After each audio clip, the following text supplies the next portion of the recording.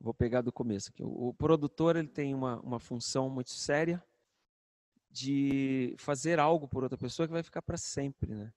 Então, a gente corre um risco quando a carreira vai começando a dar certo, você produz uma coisa, se é legal, geralmente as primeiras coisas que você faz é, ficam boas, porque você está dando o melhor sempre de estar descobrindo coisas, pesquisa muito, e aí começa a vir outro e outro, você não sabe dizer não, começa a pegar tudo que é trabalho que vem para você, e aí vem o problema, você cai na rotina e começa a fazer de qualquer jeito. E, e eu sofri com isso, sabe?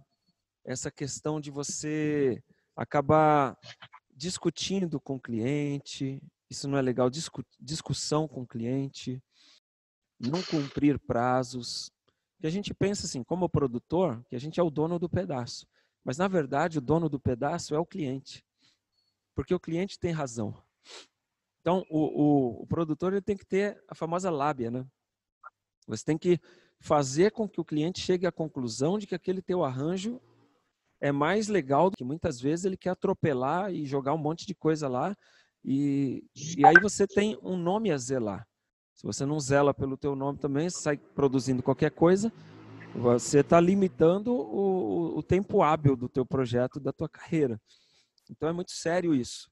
Questões de horário, questões éticas como é, não tentar furar o, o olho do outro, tentando roubar cliente do outro. Isso é muito sério, porque no meio musical as notícias correm desenfreadamente e não vale a pena, sabe? O crime não compensa, entendeu?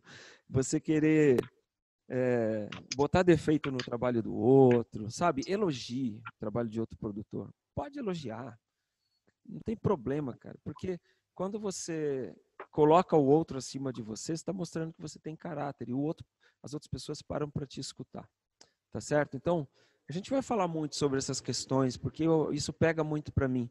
Uma pelos meus erros que eu, do passado e outra por causa de, de erros que cometeram comigo, que me machucaram, que me feriram. Da mesma forma, eu já machuquei outras pessoas. Então, então a gente tem que aprender com a nossa história, com nossos erros e com os erros dos outros também.